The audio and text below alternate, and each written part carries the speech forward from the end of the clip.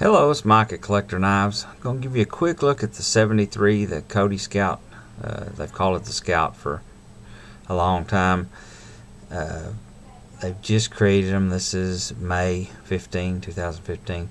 They've made this knife for a long time, like I say. These are just about what they've always been.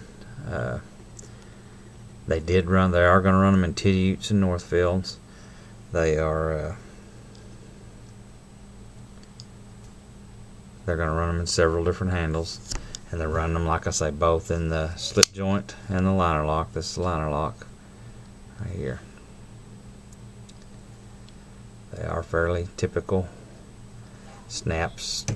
Or the, I would call it, see they got half stops. I would call it a 8. Uh, on the snap, the blade, the back spring tension. This is the non-liner. You don't realize how much heavier that liner makes it till you're holding them. But this is the, they call this the black box jig bone, brown jig bone. It's a, it's a really, really dark brown.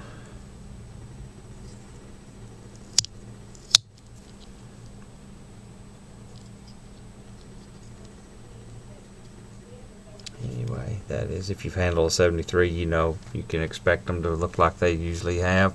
But if you hadn't there's a quick look around them. I thank you very much